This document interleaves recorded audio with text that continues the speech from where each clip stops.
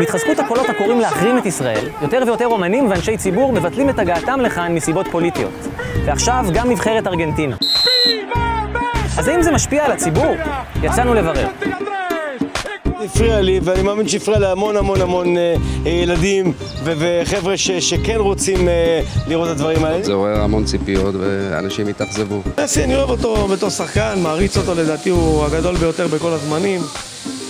חבל לי שהוא עשה את המהלך הזה. היו לכם כרטיסים? כן, כן, כן. אשכרה, ומה קורה עם זה עכשיו? מה לעשות? מאמינה שנקבל החזר. המחשבה הראשונית שלי הייתה, בשביל מה להביא לירושלים? זה, זה משחק כדורגל. למה שלא יהיה בחיפה, שיהיה בבאר שבע, בכל מקום ש... למה רק בירושלים? אסור לנו לתת לשום אה, גורם חיצוני לתת יד ל-BDS שהם אה, נגד מדינת ישראל, כי מדינת ישראל היא לא מדינה אויבת, היא מדינה שהיד שלה מונ- מונפת לשלום כל הזמן. מה שחושבים על ישראל זה גרוע. בגלל, ה- איך אומרים, העיתונאים, והם עושים את הרעש הזה.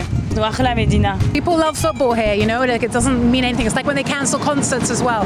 But people here, especially in Tel Aviv, young, vibrant, liberal people, like that's what it is. That's the that's what I'm part of anyway. And don't you think, especially like these young liberal people, they should feel this pressure, like you know, it maybe help make them resist their government and say like, you know, we should stop uh, demolishing houses, no, no, no, things like that. I mean, I think that's done through democracy and through voting, and that people do what they can do. But at the end of the day, like, I don't think you should boycott a whole country based on one government. לדעתכן ההחלטה של ארגנטינה יכולה לגרום לאנשים להבין שמשהו צריך להשתנות? ברור שכן. אני חושבת שזה מאוד משפיע, אנשים מדברים על זה כל הזמן עכשיו ברחובות.